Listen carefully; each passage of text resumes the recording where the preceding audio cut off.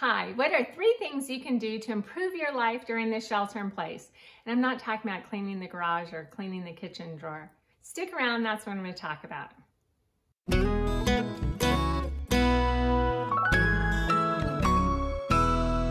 Hi, I'm Annie Baker. I'm a realtor here in Silicon Valley and I do these videos weekly, typically about real estate in Silicon Valley and things to do. But today I'm gonna talk about three things you can do that will improve your life.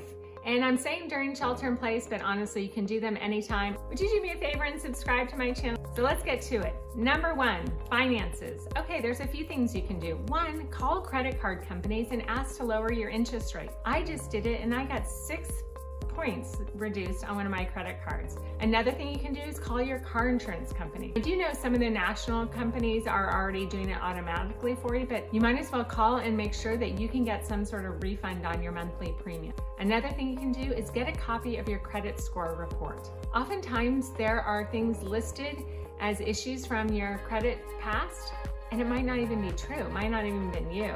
And I even saw ads for Experian they're doing something called Experian Boost that will you answer a few questions and they'll bump up your credit score, I think a minimum of 10 points.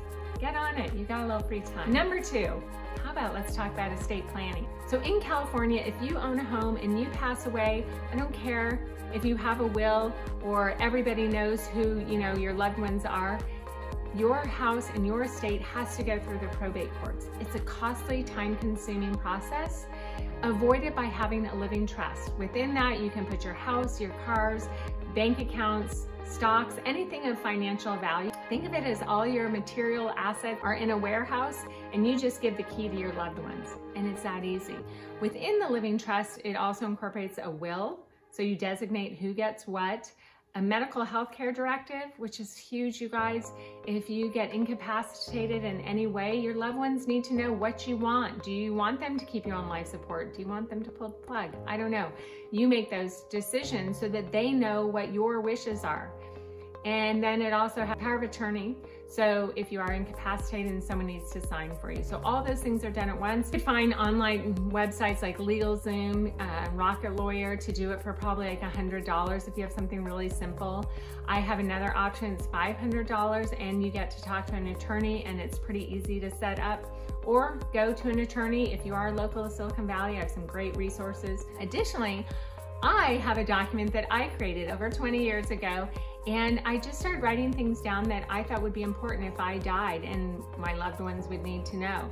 So things like bank accounts, insurance um, contact, my attorney contact, passwords on my computer so they could access things, where all my legal documents are, whether it's some kind of certificate they might need, uh, my social security card, all those things. I mean, I even go down to what songs I want played um, when they disperse my ashes.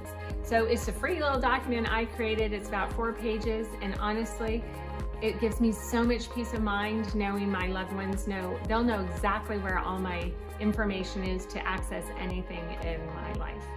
So if you want that, you can go to my website. I do have um, a link under resources for estate planning. I'd be happy to share that document with you. It'll take you 20 minutes to fill out peace of mind, I'm telling you, for you and your loved ones. Okay, step number three, peace of mind for you.